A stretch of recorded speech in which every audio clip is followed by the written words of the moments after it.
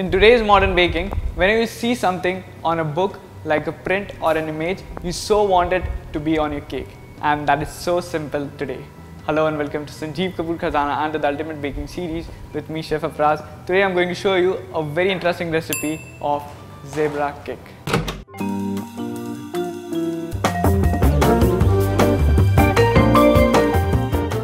So let's start making it. First I'm going to grab a large bowl to which I'm going to add one and a half cup of castor sugar. And now into the sugar I'm going to break three eggs.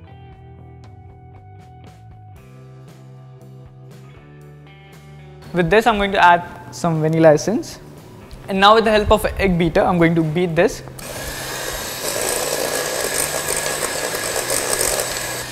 And now I'm going to beat this till all the sugar is dissolved and we get a nice ribbon consistency.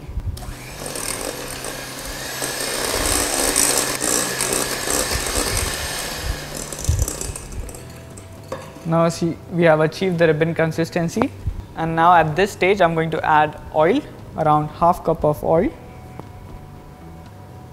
Beat this again.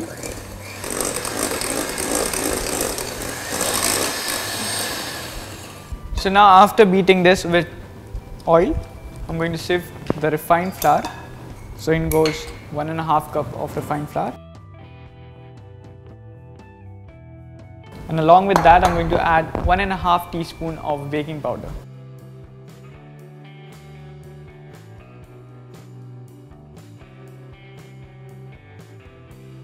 And now using cut and fold method, I am going to fold this. I am going to fold this gently The reason behind adding oil in this recipe is to make the cake nice and soft. And now once the refined flour is nicely incorporated with the mixture, I'm going to add some milk. So around half cup of milk. Again, I'm going to fold this mixture.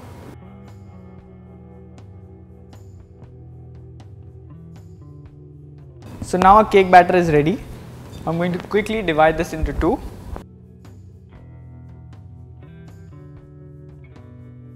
And now after dividing the mixture into two, I'm going to I'm going to add some color. So into one bowl I'm going to add white gel color and to the other I'm going to add black color. And now I'm going to mix this nicely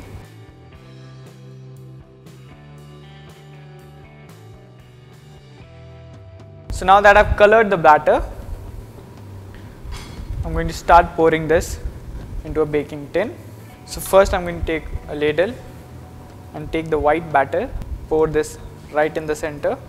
The batter has to be little liquidy as we want this to spread. And then I'm going to scoop another layer of black.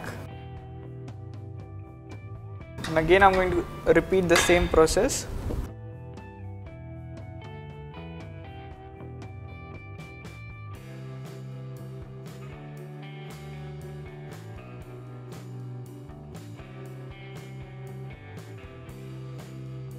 So after pouring the batter into a pattern, I'm going to slightly dab this.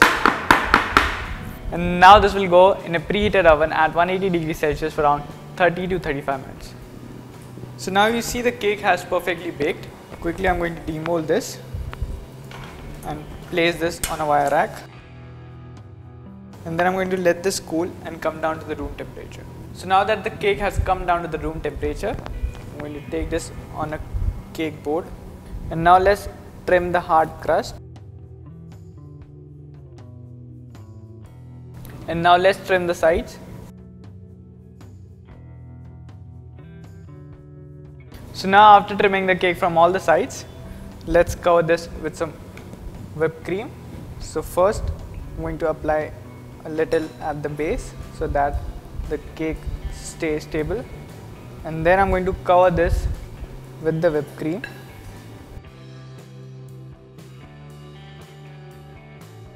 And now let's cover the sides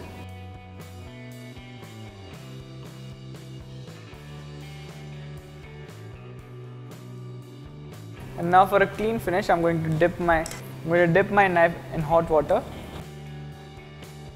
so after covering the cake with the whipped cream I'm going to take a small portion of whipped cream and to the whipped cream I'm going to add edible gel color. I'm going to mix the cream with the color.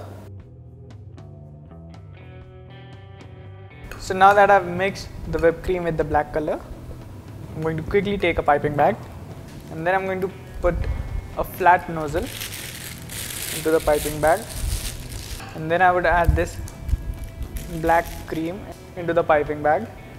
Now I'm going to start piping this.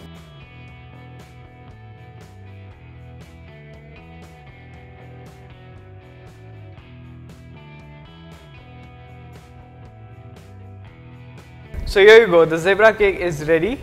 It doesn't only look interesting but also tastes delicious. So do give it a try.